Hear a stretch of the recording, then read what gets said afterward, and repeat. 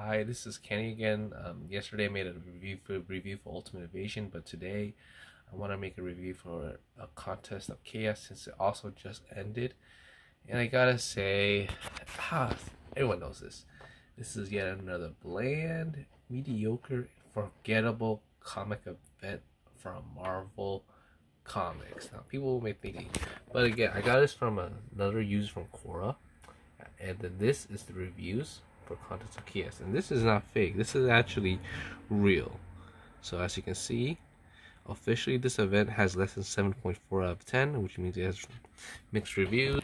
And I felt like this event was only created because Marvel saw how DC made a Knight Terrors event and they wanted to get a quick buck and cash in on the and cash in on the hype so they created Contest of Chaos but they didn't have the plot but anyway literally just an event where um where Agatha Harkness is trying to create a new Darkhold so that she can fight against chaos.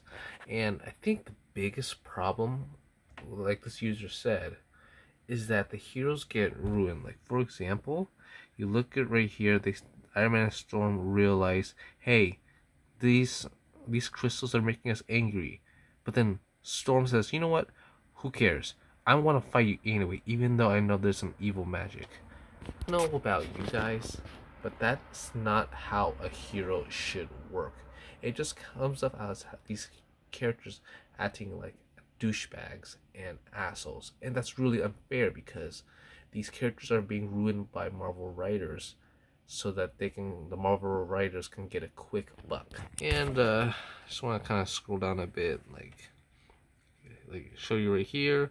And it's so funny that even Jessica Jones noticed, yeah, literally they can just type up heroes fighting each other and it'll pop up on the internet that shows how much these heroes fight each other way more often and it's like people says oh you know like dc comics they rely on too much on batman and multiversal events well at least there's good writing to it or like another example human torch and johnny blaze they're just talking they're just hanging out and suddenly johnny blaze attacks human torch for no reason they weren't even possessed at all he just attacks him for no reason at all. Like, why would you do that?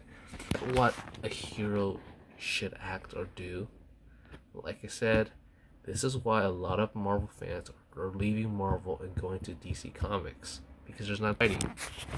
But anyway, uh, like I said, the fights here weren't that interesting. I mean, the art is also bland, but the way, like I said, the fights just okay. Storm defeats Iron Man.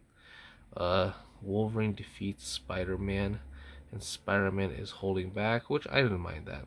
Yeah, I'm a Spider-Man fan, but Spider-Man's getting embarrassed a lot. But for this one, I did not mind that.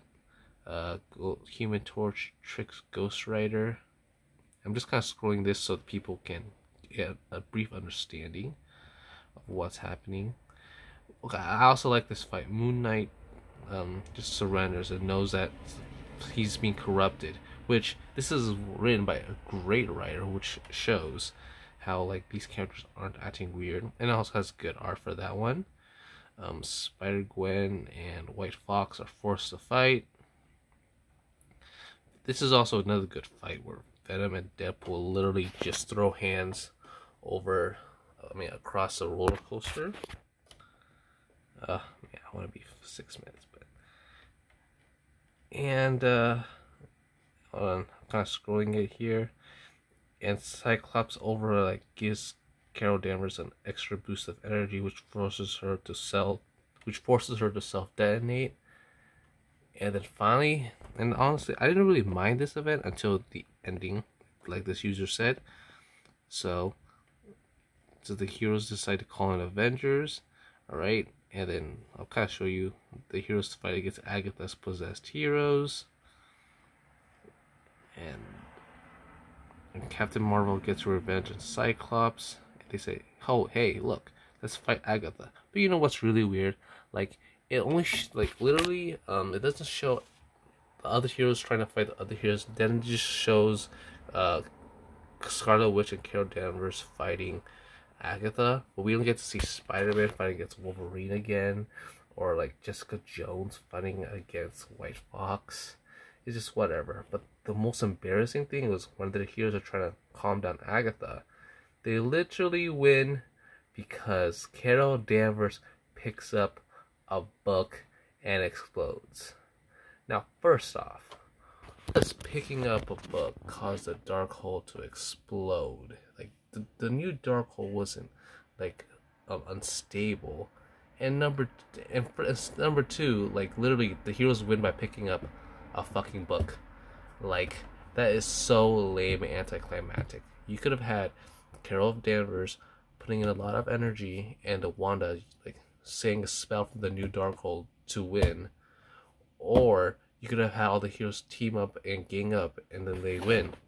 But it's like I said, it's just bland and just so embarrassing. And Agatha's an actual coward, and dare I say it, a pussy for like fucking running away, like not not like giving out a fight.